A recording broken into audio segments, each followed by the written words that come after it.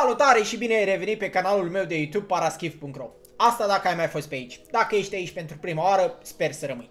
Așa că apasă butoanele alea de subscribe, share și like și fii la curent cu tot ceea ce fac eu. Și ca să fii chiar primul care află atunci când am mai postat ceva, apasă și clopoțelul ăla mic de notifier.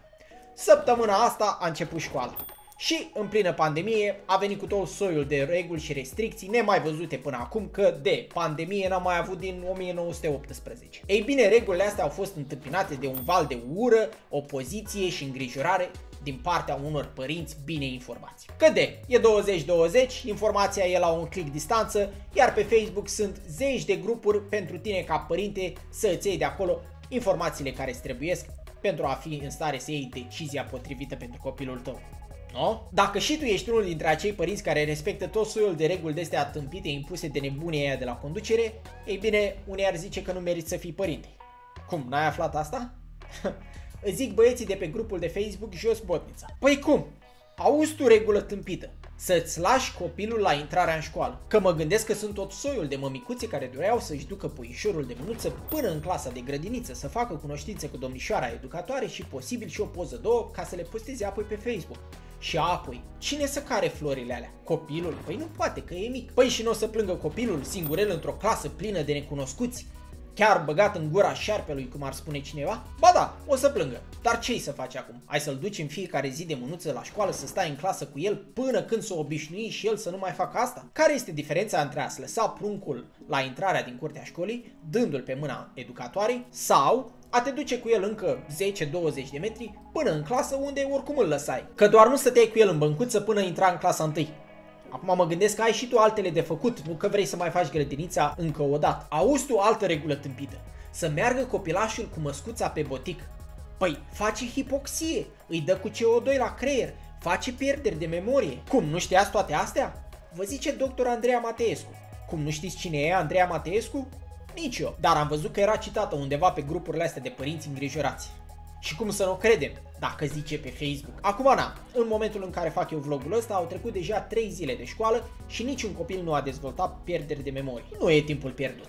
Am înțeles că au fost vreo câțiva care au leșinat și automat au leșinat din cauza botniței. Că na, până acum nu a mai leșinat nimeni la început de an școlar, că până acum venea primarul, venea polițaiul și preotul care dădea cu aghiazmă și, binecuvântat fiind, cine ar mai putea leșina stând în curtea școlii la peste 30 de grade. Nimeni. Acum, lăsând ironia la o parte și vorbim serios, Haideți să vorbim puțin despre lucrurile benefice pe care le pot aduce aceste reguli impuse. Păi, în primul rând, ele da, chiar pot încetini răspândirea virusului. Bine, asta dacă nu te iei după dr. Andreea Mateescu. De ce e important să încetinim răspândirea unui astfel de virus? E simplu, încă nu există niciun vaccin, iar până în momentul ăla trebuie într-adevăr să controlăm într-un fel sau altul răspândirea lui. Că de, nu vrea să ajungem toți în același timp la urgențe. De asemenea, o chestie mult mai importantă pe care o pot învăța copiii noștri, dar și noi în același timp, este că aceste reguli sunt impuse în interesul comunității. Și în orice societate, comunitatea și nu individul primează. Ei bine, la fel cum avem o groază de drepturi, avem și o groază de îndatoriri. Iar una dintre cele mai importante îndatoriri este aceea de a respecta comunitatea și de a face tot ceea ce este în puterea noastră pentru binele ei. Ce ar mai putea învăța pruncul tău din faptul că trebuie să respecte anumite reguli este faptul că ce să vezi, nu este îndreptățit la orice. Nu totul îi se cuvine.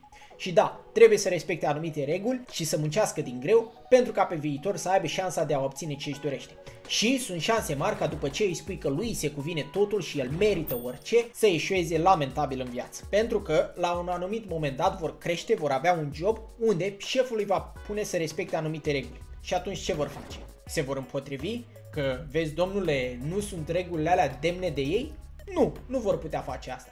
Și vor eșua. Vom sfârși prin a avea o generație plină de ratați, independenți de reguli. Înainte de a-mi sări în cap cu întrebarea aia, hai bă, paraschive, da ai tu copii ca să-ți dai cu părerea?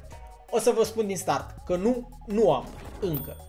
Dar până acum 25 de ani am fost unul și cred că am prins destul de multă experiență în domeniul ăsta încât să am o părere pertinentă. Dar până la urmă asta e părerea mea. Nu trebuie să fie și a voastră. În schimb, lăsați-mi în comentarii părerile voastre despre ceea ce am spus eu sau despre cum ar trebui să stea lucrurile ca să fie toate lucrurile mai bune. Promit să citesc fiecare dintre comentariile voastre și să reacționez la fiecare dintre ele. Între timp, un subscribe, un share și un like chiar m-ar ajuta. Și, în speranța că v-a plăcut și de data asta, înclinându-mă, am să vă mulțumesc. pe data viitoare.